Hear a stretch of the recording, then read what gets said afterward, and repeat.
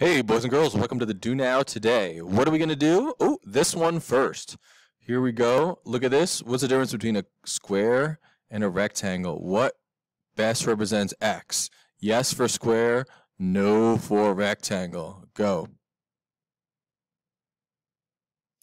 All right, let's see. I don't know. Um, square versus a rectangle.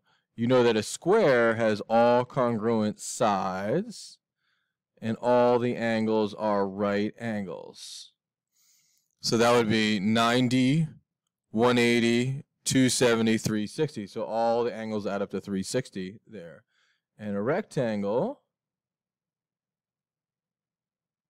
has all right angles also. So 90, 180, 270, 360. All the interior angles add up to um, 360. But, uh-oh, opposite sides are parallel and congruent. Hmm. So not all the sides are the same. In a square, all the sides are the same. All the sides are congruent. But in a rectangle, only the opposite sides are congruent. So that would be A. Has all sides equal? Yes for a square, no for a rectangle. A, A, A. Nice job. Okay, let's try this one. Go ahead and read it. What is X? Draw the picture in your notes. Go. Okay, let's see what we need to do. We need to find out what x is right here. Oops, sorry, this one. Figure out what x is right here. Okay, so I'm going to use SOHCAHTOA because I have a right triangle. So this is going to be the opposite. Yeah, what's this side going to be? Yeah, the adjacent right here across from the right angle is the hypotenuse. There we go. So to write SOHCAHTOA right there. Okay. So I have opposite 32 and I got adjacent 77. What am I going to use? Sine, cosine, or tangent?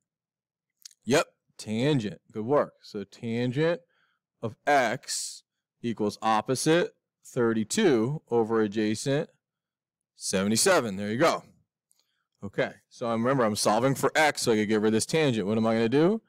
Yep, inverse tangent both sides. There we go. Because tangent and inverse tangent are opposite, so x equals inverse tangent of 32 over 77. Okay, now it is calculator time.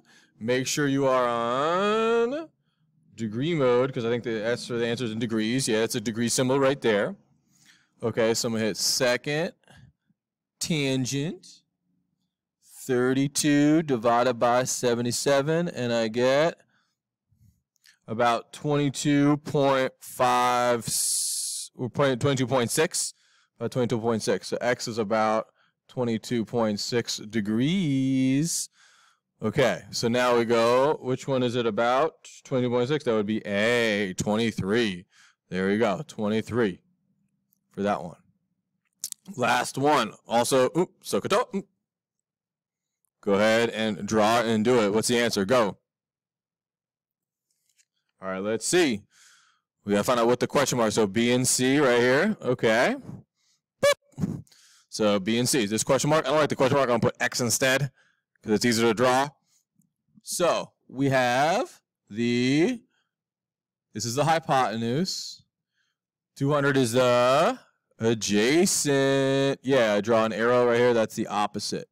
So, so, ka, toa. Always write that every single problem. All right. So what am I going to use? I have adjacent and hypotenuse.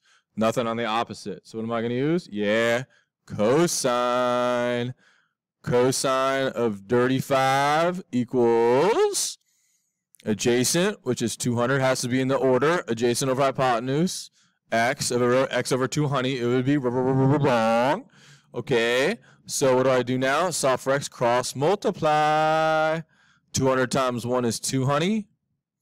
x times cosine of 35, there you go. Multiplying by cosine of 35, this is a number. So I have to divide by cosine of 35. Oh, there you go. So x, this is 1, so x equals tangent, sorry, 200, I know I said tangent, 200 divided by cosine 35. So that would be